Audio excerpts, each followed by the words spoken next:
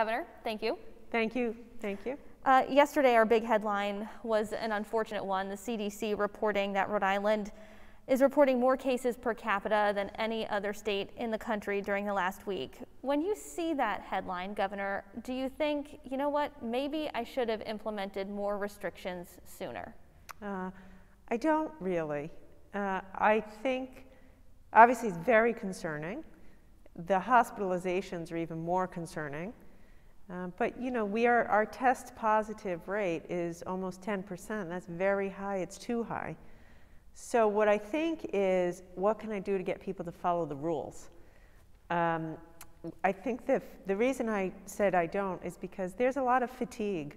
You know, at this point, I can do, I can say eh, whatever I want, but if people don't follow the rules, it isn't going to help. So what I mostly think is, please, Rhode Island, hang in there, follow the rules. We're in a very dangerous spot right now, and if you could just rein it in and follow the rules, over the next few weeks, it would save lives and make a difference. When it comes to those rules, sort of the opposite side of the coin, do you think maybe these restrictions that we've implemented aren't the right ones? Maybe I need to look mm. at uh, other regulations or, or target different industries? Yes, so that is something we're constantly thinking about. I am constantly asking the team and challenging myself what could I do differently? How could we do better? Because the results need to be better.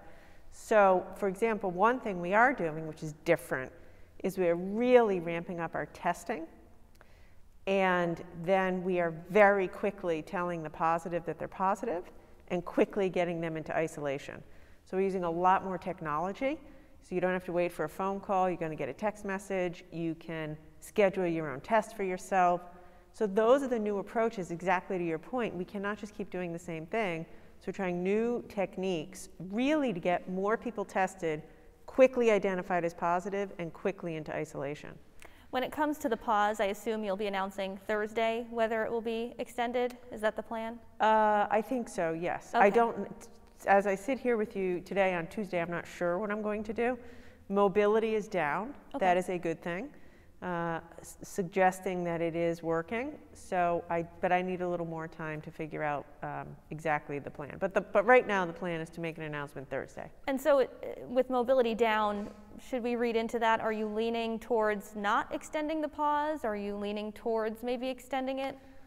Uh, it is working, I think. Early data suggests, so that's a good thing.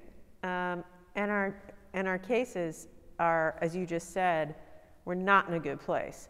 So while I haven't decided, it would be a, it'd be hard to to not keep us in some sort of a pause. It just in light of the data.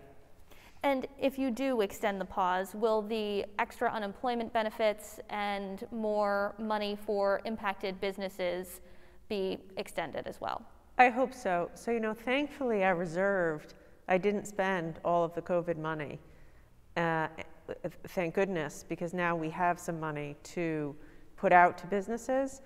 It, the answer is I would like to, but it depends on the nature of the pause, right? So if we just kept the pause exactly as it is, then yes, I would want to extend some more um, assistance to businesses. But as you said in the beginning, maybe it's something different. You know, maybe it's a bit of a different approach. So I do, we have a little bit more money in the stimulus. Businesses are really getting hit hard. And if I have to keep them closed, I would like to couple that with some, some money. As we've talked about in the past, that CARES Act funding uh, vanishes at the end of the year. And we've been hearing from some businesses who've been impacted that they need more help and that there's still money left and they're not getting answers to their grant applications fast enough. Mm. I'm wondering, is there a delay? What's being done to get that money out the door more quickly? Because folks are, are really feeling it. Yeah, I know people are really feeling it. Uh, I have no doubt that they need more help. It's been a brutal year, and I hope Congress can get something done between now and next, next week. We have a little bit more stimulus left, very little actually. And I, as I just said, I would like to put that out to businesses. I'm hopeful that Congress is going to step up, do its job, and put money out for, by the way, it's not just small businesses, to, to renters. You know, I worry so much about how are people going to pay the rent through the winter, evictions. I know that small business relief is on the table, eviction relief or rental assistance is on the table. So I think um, I'm hopeful Congress will do that. With our programs, this round of stimulus is going out incredibly quickly. The unemployment insurance, the extra $200, landed yesterday right on time. The money being put out of revenue is getting out quickly. I'm sure we can do better. I try harder every day to do better, but I'm not hearing a groundswell of complaints. The money is getting out the door.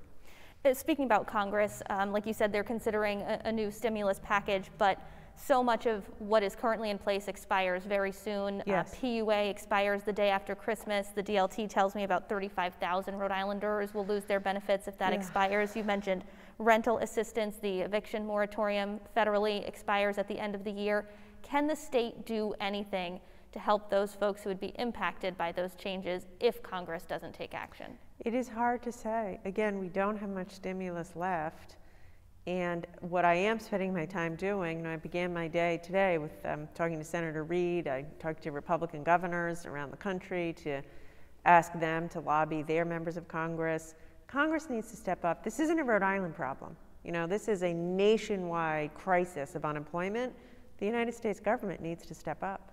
What about an eviction moratorium? That wouldn't cost any money. Would you sign something I, like that? So I would like to see the legislature do that. In fact, I'm asking them, we're in discussions about the possibility of them doing that. I don't have the power to do that as the governor, hmm. but it, I, would, I would strongly urge them to consider doing that when they come in to do the budget in the next week or two. I want to ask about field hospitals. Uh, Governor Charlie Baker announced, I believe just yesterday, he wants hospitals to curtail elective procedures. We've talked about this before. You said you didn't want to do it. Is it something you're considering now? Yeah, not really. Okay. Um, I want, I'm going to leave it up to the hospitals to manage. You know, we're very lucky. We have a tight knit community here. So the two, Lifespan and Care New England are managing the two field hospitals. They may decide they have to cut back on elective surgeries. In fact, I wouldn't be surprised if it came to that. But I'm going to let them manage it um, unless things really get out of control, which I don't foresee. We've been hearing some reports that the field hospitals are looking to hire some nursing home staff and that they might be given some sort of financial incentive to do that. Do you worry about the potential impact on nursing homes if it Absolutely. comes to that? The single biggest worry right now in, in hospitals isn't the beds, it's the staffing. You know, we have 900 beds in the field hospitals, and they're, they're high quality beds. We don't have the staff which is why I keep begging and pleading with Rhode Islanders. I was in CVS the other day doing my own personal shopping, and I ran into a woman who said, Governor, please like try harder because I have, I've been asked to put off my surgery, which I need because the hospitals are full. What she said was, why did those kids have to party over Halloween? Now I can't get my surgery. Like, come on, Rhode Island. Have, choosing to break the rules and have the parties is it really is costing people's lives. Speaking of parties, we're in a very festive stateroom right now. Uh, a lot of folks are thinking about Christmas. Yeah. Is it going to be similar guidance for Christmas that we got for Thanksgiving? Plan to celebrate it with just your household? I don't know. You know, it's my hope that I can get a handle on it and reduce our test positivity.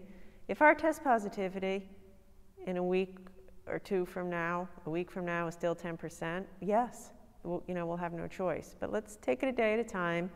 Let's pay attention to the pause. If you want to celebrate Christmas with your family, lock it down now. Your name was in the national spotlight yet again yesterday as the Biden team announced their pick for HHS secretary, which, as you said last week, was not you. But Politico was reporting it was supposed to be you. Uh, the outlet said at one point last week plans were in place for Biden to announce Raimondo as his HHS nominee.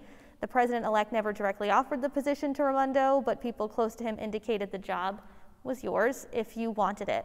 I'm wondering, Governor, what changed between Wednesday night and Thursday afternoon when you told the public it's not going to be me? Uh, nothing changed. I mean, that, what you just read, sounds like a lot of rumors to me. And you and I have talked about this a half a dozen times. I have nothing more to say about it. I'm here and I'm working hard. Some people noticed that you said I will not be his HHS pick, which potentially leaves the door open to other cabinet positions. Can you say here today that you will not be joining the Biden administration? What I will say here today is that I have nothing more to say about this topic, and I uh, am working 24 7 for Rhode Island. I want to ask about the judiciary picks. Um, your office noted a series of firsts with these. First person of color to the Rhode Island Supreme Court, first Asian American to the Rhode Island Superior Court, first Latina to the Rhode Island Family Court, and first majority female Supreme Court in Rhode Island history. Clearly, this was important to you. Yes, these are historic, this is history in the making. It is so exciting. Uh, first time ever majority woman Rhode Island Supreme Court, as you just said, first ever Asian American, first Latina, and these are amazing women. You know, I didn't pick them because of their ethnicity. I picked them because they're fantastic and talented and also women and younger. It's a generational change on the bench. It's an equity, bold statement. And for me, you know, I have seen the impact on girls seeing their state's first governor. It's very empowering. So to the Latinx kids out there and the girls out there and the Asian Rhode Islanders out there, they will see their faces represented in the judiciary and know that they can be that. And to the litigants that go before these judges, they might see somebody in a robe who looks like them. So I, I have the chills just talking about it. It's a, it's a moment of change for Rhode Island, and I think it's great.